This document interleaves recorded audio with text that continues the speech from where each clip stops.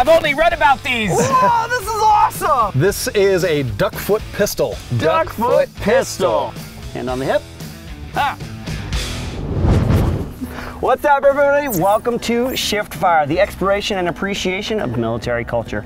I am Israel Wright, former Green Beret. It's good to be back with you. With me, as always, to my right, the illustrious, the illuminating, the luminary. Cameron Fath. What's going on, everybody? I'm a former Army Ranger out of 2nd Ranger Battalion. Excited to be here. Even more excited because we are here filming a segment of Lethal Antiquities. Israel, tell the folks about the show.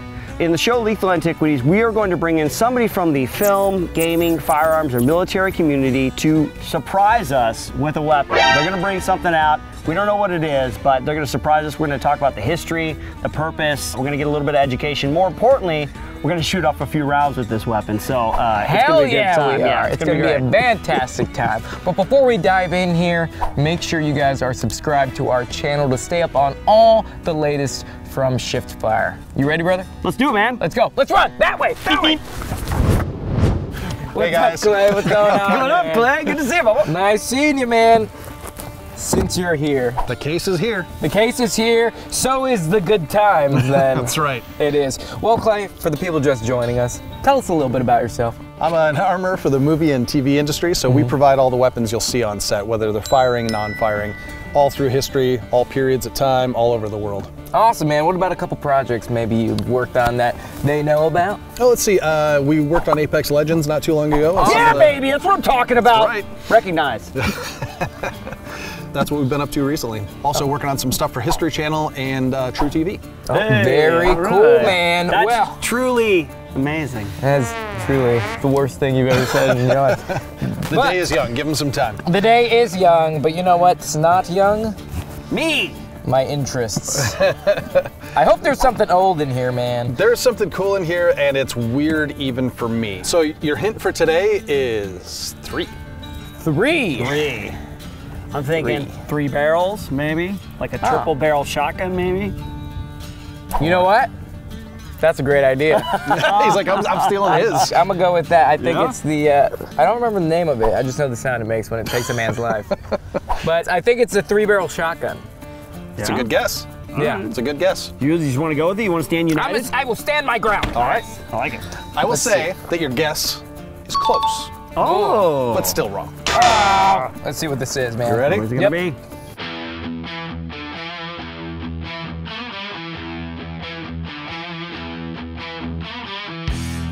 Ah.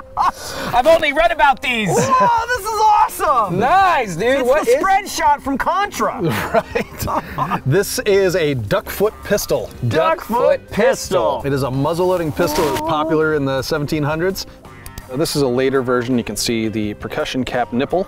Originally, you'd have flintlocks or matchlocks or doglock versions of these. All of those mm. existed. And there's a really rudimentary and very small trigger there. Got three barrels. I feel like gunsmiths just got bored. Yeah, like we have all this spare brass. Like, well, we can get it to shoot straight. Now, let's get it to shoot in three directions at once. Yeah. You can kind of see why it's called the duck foot. Yeah, it looks like a duck foot. And it wasn't uncommon for these to have four barrels, sometimes five barrels. There's examples with up to eight barrels. I kid oh you not. God. And these all fire at one time. No kidding. Yeah. So this Triple was shot. sort of designed for bank guards, ship captains, uh, people that might have to fight off multiple attackers at once. Supposedly, Real this life. was enough to uh, dissuade a crew from mutinying when a captain went, "Do you really want to do that?" Ah. Well, why don't we just keep sailing together, chappies?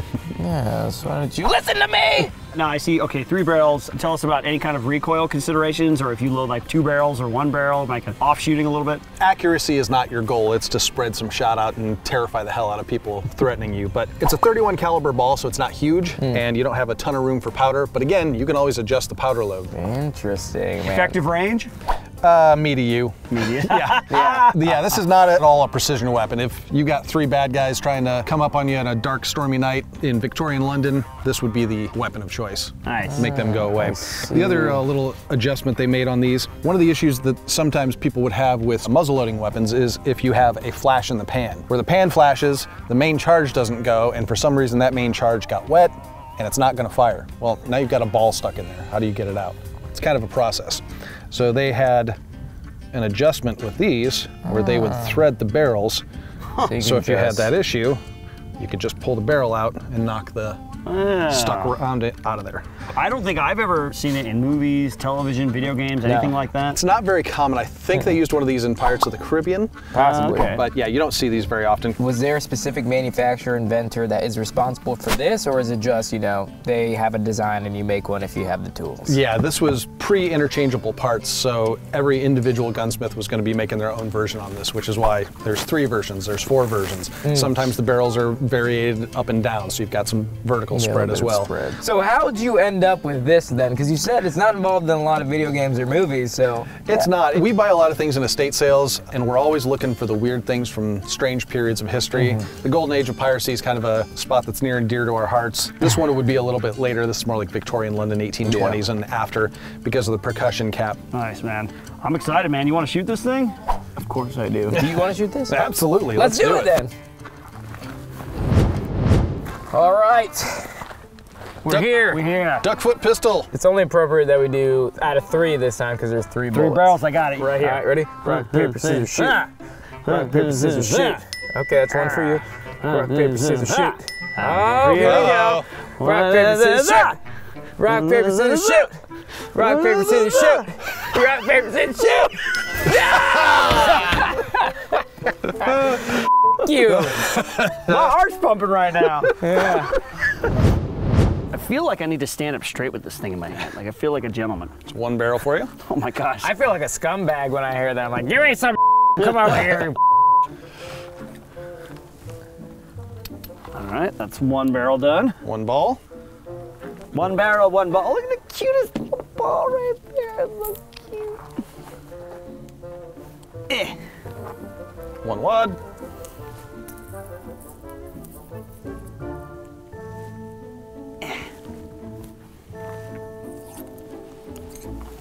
Got it. Barrel number two. Barrel number two, ladies and gentlemen. The bullet.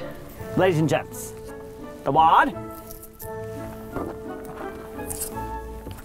Such a time-consuming process. Everyone wait. Your freedom can wait. I mean, you'd think the ball would be like the size of the barrel. Yeah. There's a lot of room to play. There's a lot Yeah, of there. room. Well, black powder soaks up water. It's hygroscopic. Uh-huh. So the more you fire a black powder weapon, the smaller the bore gets because it's getting clogged with black powder that's sticking to the walls. So that was part of the reason that they always used a slightly smaller ball. Later, when they rifled the barrels, you'd actually have to pound it down with a hammer. All right, you're loaded. Yep. All right, range is hot. Go ahead and take that to half cock. All right, half cock. Oh, full cock, rather. Keep your finger off. Oh, I love the little cap Yep. of flint. Okay. Use mercury fulminate and just fit that on there and shove it all the way down. Okay. And you are ready to fire. All right, we're ready to go. Come on, antiques.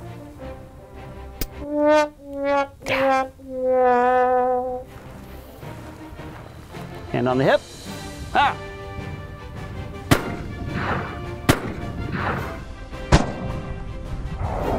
Hey, nothing but air.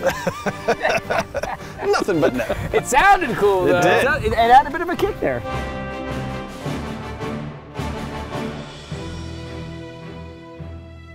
Thank Your cap, sir. Just go ahead and take it to full cock. Make sure that thing's cleared. Should be good. Okay.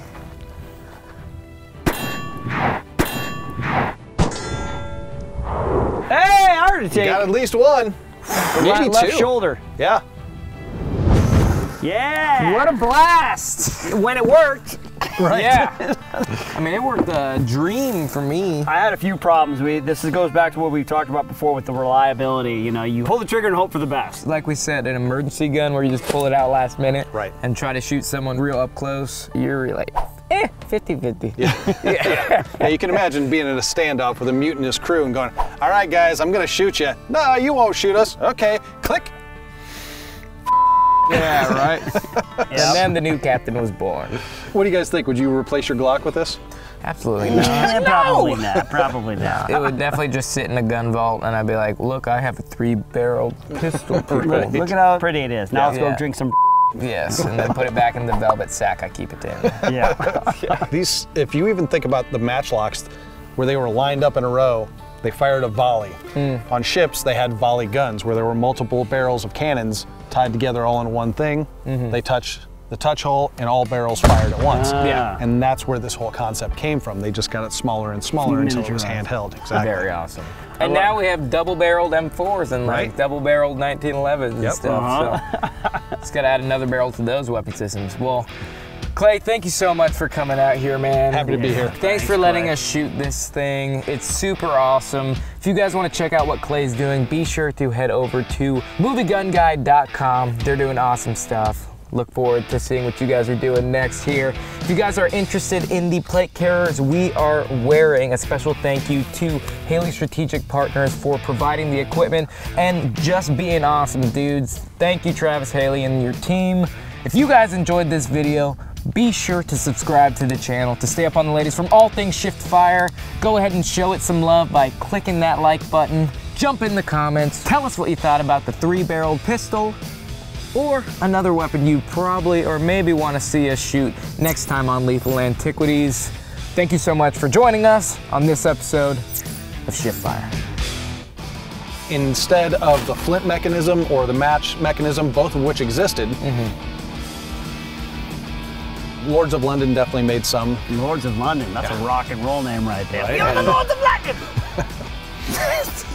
Just wanted to, yeah, know that. That's where my mind goes. Yeah, I love it.